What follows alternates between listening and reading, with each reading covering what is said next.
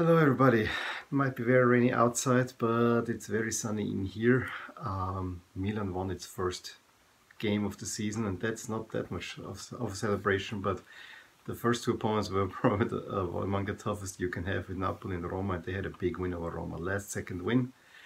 Not gonna spend too much time talking about that win, uh, except saying that yeah, this was a duel between my two favorite Italian teams, but Milan is just always a step ahead of uh, Roma and then it's everyone else. But I want to look here at a few of my Milan shirts and I'm gonna start off with the home shirt 96-97 where we looked already at the away shirt uh, very similar uh, overall in the uh, design aspects you know we have again the Opel sponsor we have the Scudetto that we already said with the star um, and of course it was made by Lotto.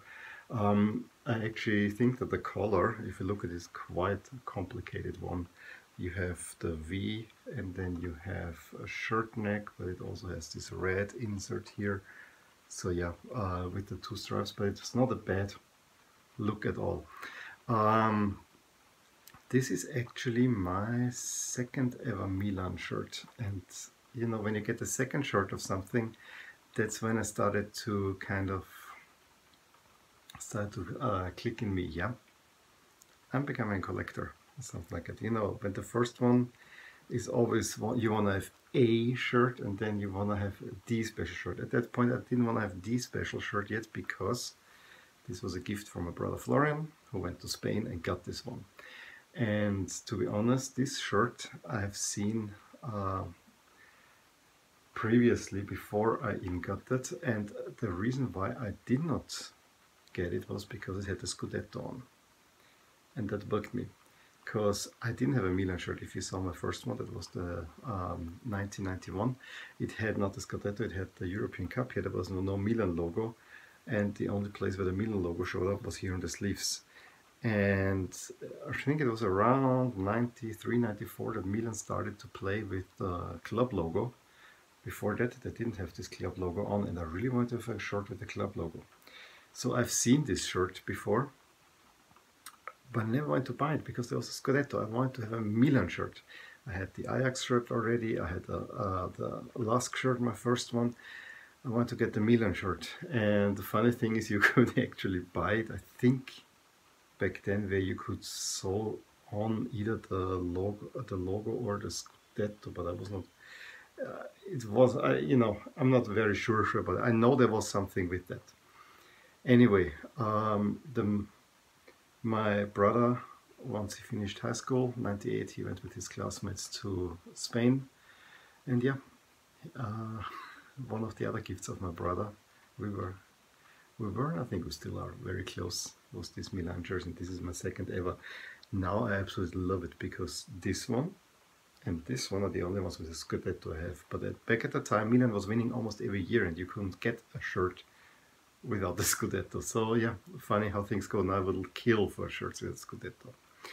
Uh, there are a few other quirks. Um, they don't bug me too much, but again, the sponsor is printed. So if you look at the P, you can actually see that it's not very clean with the print also I think the L is a little bit off but you know that's what happens.